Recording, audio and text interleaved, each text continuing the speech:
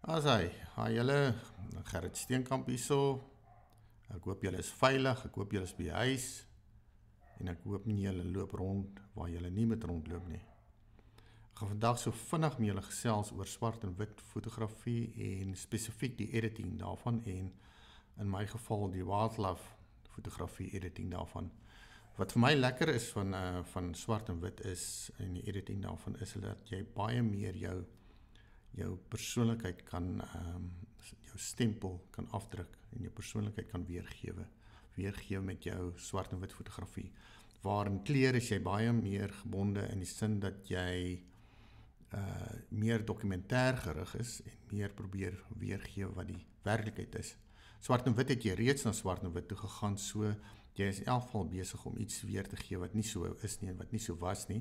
So jy kan net sowel gaan en jy kan baie meer uh jou persoonlikheid afdruk en baie meer doen as wat jy in kleur sou gedoen het. Uh dit is my siening daaroor uh, en of dit reg is en of dit nie reg is nie, het ek nie idee nie. Ek ehm um, as dit by fotografie kom, het ek in elk geval nie 'n uh, regte idee wat ek doen nie. Ek probeer maar net my my uh persoonlikheid afdwing op uh wat ek sien en uh weergee wat ek sien en ek probeer vir die mense iets gee om na te kyk. En dit is ook jy moet altyd onthou dit is die doel van uh, van van van fotografie. Dit is die doel van 'n foto is om vir die kyker iets te gee om na te kyk, om vir die kyker se se aandag te trek sodat hy 'n langer tydperk spandeer om te kyk na 'n foto en en daar is sekere reëls wat wat uh, wat jy kan navolg wat wat dit makliker maak, wat dit beter maak en wat dit sal uh, wat sal veroorsaak dat 'n kyker langer na jou foto sal kyk. Uh soos byvoorbeeld uh, die derdes en al jou goedjies wat daar wat daar is en en dan moet jy ook baie onthou en dit is spesifiek by swart en fotografie is dit baie belangrik is dat jy jou ligte dele, jou wit dele trek baie meer aandag as jou swart gedeeltes van jou fotografie. Jou oog sal altyd eers gaan na jou ligte gedeelte. Soos wat wat dit wat uh, dit is dis wat uh, swart en wit fotografie nog baie baie lekkerder maak is die feit dat jy beheer oor jou ligte en jou swart dele. So jy kan besluit waar wil jy die aandag van jou kyker waar wil jy sy oog na toe trek? En uh, jy kan daai dele wat ligter is meer uh meer aandag gee, meer ligter maak en die donker gedeeltes waar jy die aandag nie wil hê nie, kan jy donkerder maak. En dan moet jy ook altyd onthou daar is um uh swart en wit fotografie beteken dis swart en wit. Met ander woorde, hy moet loop van swart na wit toe. Nie van grys na swart toe nie of van grys na wit nie, van swart na wit en jy moet probeer om die maksimum hoeveelheid uh tones, as ek dit sou kan noem, van swart na wit te kan hê. Uh net 'n voorbeeld in so en ek wil nie daaroor uitbrei nie. Ansel Adams het 'n 11 zone system gehad waarop hy gewerk het. Met ander woorde, hy het 11 tones gehad van wit na swart toe. En dit is waarop hy sy landscape swart en wit wit uh landscapes gebaseer het. So uh dit is dit is swart en wit fotografie. Dit is uh, die editing daarvan. Hoe ek te werk gaan is ek uh, my workflow wat ek met julle wil deurgaan is ek begin in in Breach wat my browser is waar ek my goed organiseer en nommer en wat ook al in rondskuif en op stoor op harde skywe. En van daar af gaan ek dan uh dit is my raw files uh is daar en dan gaan ek van daar af gaan ek na na Photoshop toe en spesifiek omrede het 'n raw file is gaan ek na Photoshop raw toe en ek doen daar in Photoshop raw doen ek omtrent ek sou sê 90% van my editing klaar. Dan gaan ek na Photoshop toe waar ek dan uh die fynere detail, fynere verstellings maak soos uh, dodge and burn, soos sharpening en uh uh wat sou nog? Cropping. En as ek daarmee klaar is dan gaan ek met swart en wit fotografie. Gaan ek dan na nie collection toe na die silver effects wat hulle swart en wit editing program is. Dan doen ek my swart en wit daar. En as ek klaar is daar gaan ek terug na Photoshop toe en hy hy gaan dan die swart en wit ehm um, editing uh, van silver effects gaan dan as 'n layer wees in Photoshop op die op die boonste layer.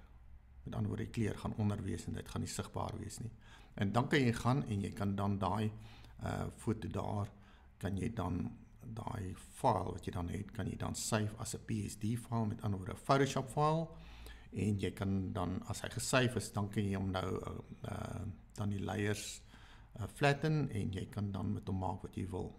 Jy kan hom dan uh verklein en op sosiale media sit of inskryf vir die kamera klap of voorberei of laat print of whatever jy wil doen. So en as jy dan uh, dan om dan save gaan dit dan wees jy gaan hom dan as 'n JPEG save of uh, wat whatever die geval mag wees. En ehm um, jou kleurprofiel gaan wees uh, uh CMYK of uh, wat ook al jy wat jy wil doen met hom of uh, ja. Goed. Uh so ek gaan nou oorgaan na ehm um, na na my bridge toe en dan gaan ek vir julle daar wys ehm uh, hoe gaan ek te werk van daar af Photoshop toe, Photoshop Raw, Photoshop en dan Silver Effects toe terug na Photoshop toe in my hele workflow. Nou as dit klaar is dan dan gaan ek vir julle 'n paar uh J net gou hier so dood kry jammer.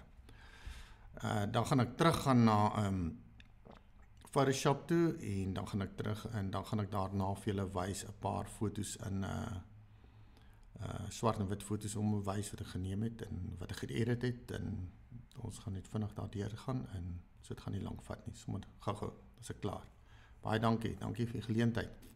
Met ander woorde as ek nou gaan op hom gaan double klik dan gaan hy in Photoshop Raw oopmaak. Daar sê hy. Julle gaan my nou nie sien nie. Ek hoop julle kan my hoor.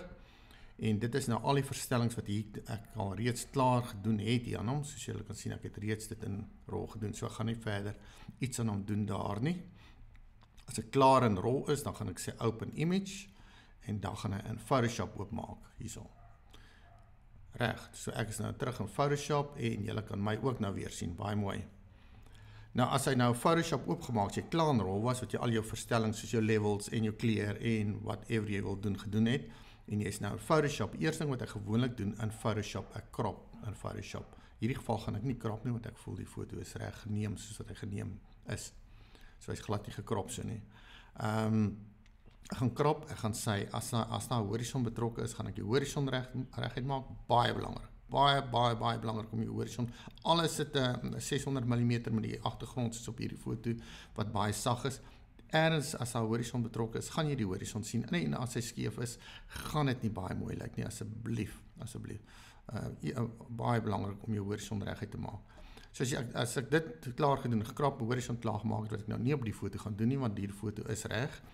Dan gaan ek eerstens weer kyk na my levels. Nou ek het 'n action hier so regs bo en ek gaan klik op die levels daarso en soos julle daar kan sien daar is my levels en dan wys hy soms my so tipe van 'n histogrampie en jy sal sien ehm uh, daar by shadows areas ek al reeds amper in die swart en die wit kan ek nog so 'n bietjie gaan sy algemene midtones is vir my 100% reg so gaan niks daar verander nie so as ek nou alt indruk en ek trek daai een soontoe dan sal julle sien hier gaan hy begin wit uitwas daar net so gaan teruggaan en so bietjie omtrent daar en daar gaan ek stop sê okay, dit is waar ek wil wees.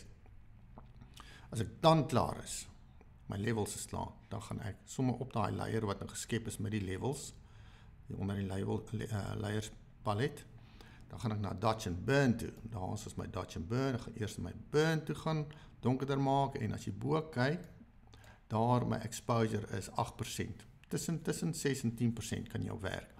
En jy kan nou gaan hierso en jy kan nou gaan Dodge and Burn ek maak nou eers bietjie donkerder waar ek nog bietjie donkerder wil hê en jy net daai okay gaan nou nie daarso nie want ek kom weer skuif nê so ek gaan hom net daarso en as jy wil uh, ligter maak jy gaan te gaan daarso na jou dodge tool toe en jy kan sê jy wil so bietjie ligter maak hier of weer ewer jy wil ligter maak nê so as jy daar klaar is dan gaan ek na my sharpening tool toe. As jy hierso ook 'n 'n 'n action wat ek geskryf het. Gaan dan flatten, dan sal dit nog 'n layer maak, dan maak hy nog 'n layer en sharp mask.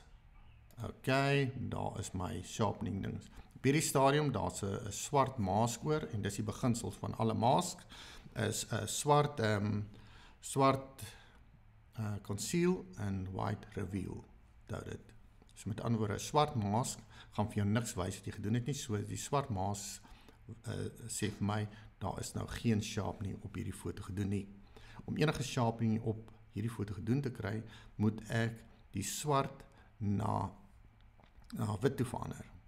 En hoe ek dit kan doen is of ek kan alt backspace druk met my met my wit hierso op wit en hy gaan heeltemal wit wees en die hele foto gaan uh, gaan gesharpen wees. Met ander woorde, kom ons doen dit. Daarso ek druk alt backspace, daar's hy en daar's alles gesharpen tot die agtergrond toe. Dit wil ek nie hê nie. Command Z, gaan dit terug. Hy's weer terug op uh, op swart. Onthou ek werk op Mac, hoor.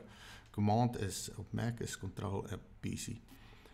Uh so daar's hy's weer die mask is weer swart, so as geen sharp nie. Om wit te uh, wit te kry, kan ek nou brush. Ek druk my brush tool, maak hom lekker saag, redelike grootte daar.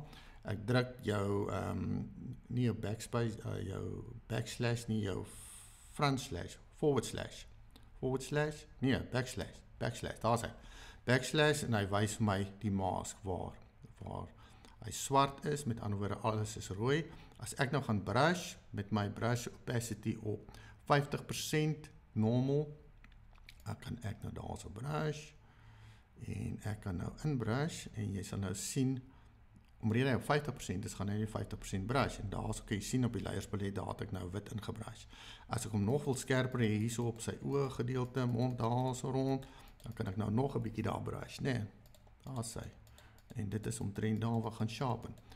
So daar het ek gesharpen. Dit is waar ek my foto wil skerp. Ek wil nie my foto ek het ek nou weer die uh, backslash gewerk gedruk om terug te kry om die maas weg te vat. Ek wil nie die agtergrond skerp hê nie. Die, agtergrond is sag. Dis ook om kon geneem het met 'n 600 mm f4 lens om die agtergrond so sag te kry. Uh so ek wil die agtergrond sag hou. Ek wil hom nie skerp hê nie en ek wil ook nie noise create op my agtergrond nie want dit gaan ehm um, baie sleg wees. Ek wil uh, nêrens noise nie. En die eerste ding wat jy doen is op as jy op shadow areas en as jy op out of focus areas gaan sharpen, gaan jy noise create. So onthou dit. So reg, nou as ek klaar gesharpen, nou kan jy weer jou sharpening action druk daarso en jy sê jy kan hom maar omrede in in swart en wit werk en nou na nik toe gaan werk, gaan jy jou ding moet flatten. Normaalweg sal ek hom nie flatten nie en ek sal altyd as 'n kleur is hierdie foto dan save as 'n as 'n PSD file, maar ek gaan hom nou flatten, hoor. So daar sê, daar sien 'n geflatten, jy sien daar's net een layer op. Hierdie sharpening uh, action, uh, dit is al wat ek gebruik vir die laaste 5 jaar. Hy is hy is jy kan hom koop op my webwerf. Uh download as jy wil. Ehm um, as jy dit wil gebruik dit werk vir my werk dit en ek gebruik hom vir alles. Van wildlife kosfotografie portraits sport you name it. Dis wat ek gebruik. Dis my sharp nie wat ek gebruik. Goed nou sit ek hier in ehm um, nou het ek een layer in in in uh, Photoshop. Nou gaan ek hierdie foto gaan ek nou swart en wit maak. Dan gaan ek op daarna filter toe. Daarso. Ek gaan af na Nik collection toe. Gaan af na Silver Effects Pro 2 toe en ek gaan hom daarso oopmaak en hy gaan dan 'n foto hierso oopmaak. Ek gaan hom nou skuif, dan kan julle my weer sien. Daar sê. Right, kan julle my sien. Goed, kom ons hou hom so. Right, dit is uh, dit is Silver Effects. En uh, nou as jy sien hier's 'n klomp uh, presets hierso. Ek gebruik basies een full dynamic range, full dynamic uh wat staan nou nommer 16 full dynamic smooth. Al wat hy doen is hy gaan nou Jy sien hierdie foto hier, en dit is presies wat ek net gesê het. Hy is grys en swart. Hy is nie wit en swart nie. En dit is die grootste fout wat meeste mense maak as dit kom by swart en wit editing. So ek gaan net daai een druk daar, dan gaan jy sien hy gaan onmiddellik verander na swart en wit toe. Daar's sy. Baie mooi. Nou kan ek gaan na die filters toe. Hier's al my filters hierso en uh, hy is nou op die, die grys een is geen filter nie. As ek na die blou toe gaan, hy gaan presies self, o, hy gaan hom donkerder maak. Daar's hy blou filter op in die in die in die ou jare in die donker kamer die mense filters gebruik met swart en wit fotografie om die kontras uit te lig. En dit is maar waarvan af dit kom. 'n Groen filter gaan vir jou omtrent dieselfde as geen geen nie. Geel gaan 'n bietjie bietjie meer kontras gee, 'n bietjie meer wit so. Uh oranje nog 'n bietjie meer en dan rooi is altyd jou hoë kontras wat jy gebruik. Right, in hierdie geval sou ek sê gaan ek gebruik ek sou gebruik die oranje een. Ek sê oranje filter vat daar. Dan gaan ek af na uh, uh, jy moet onthou hierso is ook sliders hierbo, brighten contrast uh, structure as jy daar wil verander. In hierdie geval is nie nodig nie. Hy is hy's perfek so. Uh vignetting daarso gaan ek daar en ek begin na bo, daar's hy af. Uh lens full of 1 2 3 en dan die white frame wat ek omtrent nooit gebruik nie. So ek gaan of daai eerste een of die tweede een of die derde een hang af hoe hoe uh wat hoeveel wat netting ek wil hê. Ek sê in hierdie geval gaan ek hom op 2 vat. Daar's hy. Right. En nou baie belangrik, okay, nou gaan ek teruggaan. Ek is klaar hierso. Jy uh, wag voor ek klaar uh, teruggaan. Ek wil net vir julle wys as jy wil, as daar sê maar gedeelte is soos daai gedeelte hierso wat bietjie uitgebrand is en jy wil hom uh bietjie donkerder hê daar. Daar's control points. Ek gebruik dit nogal redelik baie, hoor. En ek kan uh, control points en ek kan gaan uh kom sal hy nou nie wil werk nie.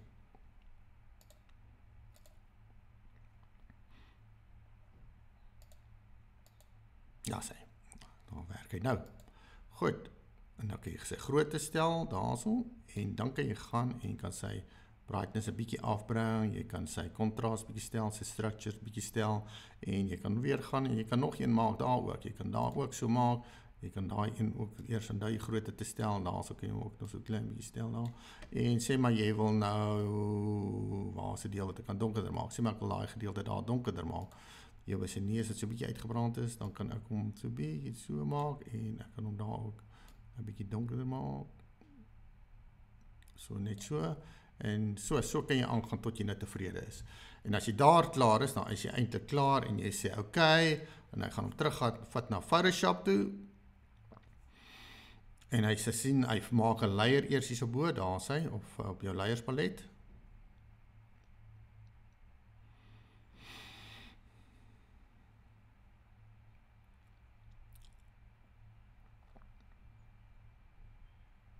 Nou sê.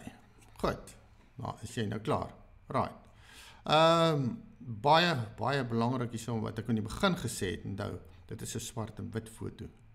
En jy moet soveel as moontlik tones hê tussen swart en wit. En dan baie belangrik is is laat jou jou wit gedeeltes moet die, die dele wees waar jy jy die kyker se aandag wil lei.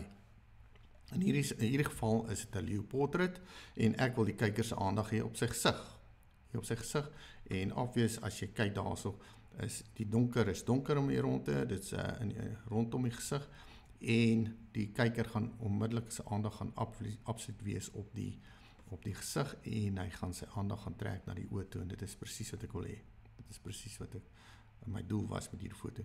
As jy gaan na jou layers palet toe, as jy twee twee layers daarso, dan kan jy hom weer save as 'n as 'n Photoshop file met 'n ander naam, laat hy nou nie die kleur uh, Photoshop file override nie en dan uh, kan jy later weer verander in hom. Uh, as jy as jy wil uh, uh, uh, kan jy nou weer nog verstellings hier ook maak in Photoshop. Ek wil net kyk wat gebeur as jy hom terugvat na RAW toe. Ek gaan nou nie ek weet nou nie wat gaan gebeur nie. Kom ons kyk. Om om om 'n lay om 'n layer in Photoshop terug te vat na RAW toe, druk jy Ctrl Shift A of Command Shift A in Mac. Ek druk dit nou en ons kyk wat gebeur. Daar's hy terug. Goed. Nou kan jy weer hierso gaan veranderings uh, aanbring wat jy wil aanbring en jy as jy klaar is daar dan kan jy sê weer okay, en jy's terug met jou veranderings wat jy daar gedoen het. So jy kan daarmee ook rondspeel. Reg, dit is dit is dis my workflow. Dit is swart en wit editing en jy kan rondspeel en jy kan eintlik mal gaan met swart en dit is eintlik ongelooflik om swart en wit te edit. Ek smaal daaroor. Ek gaan vir julle nou net wys al wat ek nou gaan doen is ek gaan vir julle 'n paar fotos wys en ek gaan nie veel sê nie want daar is niks te sê nie. 'n foto moet vir homself praat. Sodra jy moet verduidelik wat op 'n foto aangaan, beteken dit in afval hy was nie goed genoeg nie. Hy het sy eie storie. Ek gaan nou terug na Bridge toe. Ons kyk daarso. Julle kan my nog sien. Ek net gou kyk hierso black and white JPEGs. Ek het so 'n paar kies hier uitgehaal. Kom ons kontrol Ehm um, mount I, daar sê nee, okay, so en ek sê en ek druk shift. Daar sê ek moet net gou ding kwaliteit 100% kry, daar sê myself net uit die pad uit kry. En ehm um, let daar op die swart gedeeltes en die wit gedeeltes en dan ehm um, waar die aandag heen gaan, né? Ek net gou terug aan hier na toe, daar sê daar's 'n ander een van 'n zebra. Zebra maak altyd baie baie mooi swart en wit foto's omrede die swart en wit strepe en so is dit maklik om daai kontras te kry. OK, daar's ons van die van die gemsbokke wat klei met die stof. Daar's die een wat ek nee, dis aan die een hè. Tog die een wat ek nou geëdit het. Is ehm so 'n leeu. Daar's ons een Ons is een terwyl ons hierso is, jy moet altyd onthou en dit is baie belangrik om te onthou, jy moenie uh, jy moenie 'n foto enige foto uh, is nie enige foto wat swart en wit werk. Jy werk of dit swart en wit of hy werk nie. En as hy nie werk nie, dan moet jy hom eintlik nie in swart en wit doen nie. Dan as as jy hom oopgemaak het en jy het hom begin swart en wit wit uh, edit en jy sien hy werk nie swart en wit nie, los hom. Los hom in kleur. Dieselfde met daai haatjie en loutjie. Ek sien dit so so ongelooflik baie dat mense forceer 'n foto in haatjie en of in in loutjie in wat nie 'n loutjie of haai foto. 'n Foto is of haatjie of hy's loutjie of hy of hy dit is nou maar net so. En selfs in swart en wit foto. Dit as ek na hierdie foto van 'n leeu kyk, is dit nie regtig vir my 'n swart en wit foto nie. Hy het beter gewerk in kleur. Uh en as ek weer as ek weer uh, gaan teruggaan, ek sal weer edit, sal ek baie meer aandag gee aan die gesig. Die gesig is my te donker en vergelyk met hierdie gedeelte. Met ander woorde, al die aandag is op sy rug hierso en nie op sy gesig nie en ek wil die aandag op die gesig hê. As hy dit 'n klein leeuetjie daarso besig om die uh guineavels of die wat noem dit stalk as 'n leeuportret en dis 'n beter foto want die aandag is baie meer op die gesig. Is 'n haatjie foto, uh, ek het nou 'n haatjie geneem en dit is 'n haatjie foto en dit is nou maar so hy is teen die lig geneem. Jy kan ook sien in die kleur uh, op die kleur editing sou ek nie hierdie takke uitgebruis het nie. Omdat hy swart en wit was, kon ek baie meer editing gedoen het en uh, so dit's meer 'n uh, kunstige foto wat ek gekreë het. En dan sit uh, die cheetahs Nog cheetahs, net twee jongetjies vroegoggend wat water besig om water te drink by Leeudril in die Galagadi. En dan die zebras Botswana. Dit is vroegoggend. Ek dink ek het hierdie foto's ek reg nou teen 'n 30ste van 'n sekond geneem. So spoed was baie stadig. Dit was omtrent nog donker geweest. Uh twee leeu's in die Galagadi, Polenswa. Twee twee koalisie partners daar. En dan daar ook nog 'n uh, Roosel groot ooruil. Ek hoop my benaming is reg. En dit is dan die foto dink ek wat ons net nou geëdit het, né? Ek gewys het. So, hoe hy lyk as hy klaar is. As hy jakkals daarso by Mapaya, Tutla, Panne Lesloaga, Lesloaga in Maboso se se Jubi ek die jakkals afgeneem het. En dan daar is so olifante. Al die aandag is op die klein olifantjie se gesig. Nee, die res is donker, so jou aandag gaan onmiddellik so te trek. As hy Tosha panne, leeu, manetjie laatmiddag kom water drink daar. Gemsbok daar by Witstrand by die watergat, dis 'n ondergrondse wind uh watergat by Witstrand hier in die Noord-Kaap. Baie baie lekker. Nog cheetahs, die Galagadi,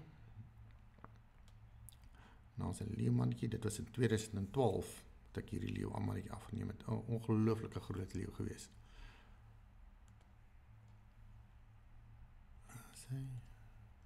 Sy olifante. Ah, so dit is 'n sentraal sentraal ehm um, sentraal Botswana. Ek die blou wildebees afneem teen 'n stadige sluiter, sluiterspoed wat so 25ste wat dan vir my die uh die beweging motion blur gegee het en dan 'n haatjie foto wat dis maar wat ek geneem het so het so gebly ek het nie veel verander aan hom nie. Dis ook in uh, sentraal Botswana.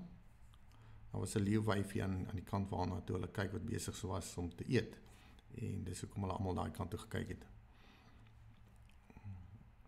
As in die Kreerwiltuin naby Louwersaal weet ek die leeu die leeuetjie afgeneem een oggend vroeg. Goed, ek gaan uitgaan hierso en ek gaan myself groter maak. Daar's sy. Reg, ek weet nou nie kry daai gedeelte weg nie, maar moenie worry nie. So. Ons kyk. Ehm um, dit is swart en wit fotografie. Dis my workflow en eh, soos ek in die begin gesê het, uh, of dit reg is of nie reg is nie, ek het nie idee nie. So gaan en gaan doen jou eie swart en wit eh, foto. Moenie uh, leer by ander mense. Jy moet altyd leer. Jy moet altyd bereid wees om te leer. As jy die dag uh opstaan en jy is nie meer lus om te leer nie, jy wil nie meer leer nie, dan uh dan moet jy ophou met wat wat ook al jy is, want dan dan is jy op die verkeerde pad. Ehm um, die beste manier is om om te leer is om te vra. Jy weet kamera klap, vra vir jou mede klap maats daar en moenie bang wees om te vra nie. Daar sal altyd mense wees wat wat jou gaan wil help. Daar gaan altyd 'n paar wees wat jou nie wil help nie, maar ignoreer hulle totally. Dit is nie belangrik nie. Ehm uh, vra vir mense wat jou wil help, hulle sal jou help. En uh, die beste manier vir jy wat dink jy weet alles, beste manier om te leer is maak jouself coachable. En om jou coachable te maak, hou jouself dom. Hou jouself klipdom. Die dag as jy vir jouself domme gaan mense vir jou probeer inligting gee want mense hou daarvan om inligting weer te gee. En as jy vir jouself dom hou, gaan mense vir jou inligting wil gee. Maar die dag as jy vir jouself slim hou, gaan niemand jou wil help nie. Great. Ek is nou klaar gepraat. Sterkte. Geniet dit. Ek hoop jy het iets geleer. Ek gaan later van die jaar gaan ek uh, 'n workshop as hierdie lockdown nou verby is en alles weer terug normaal.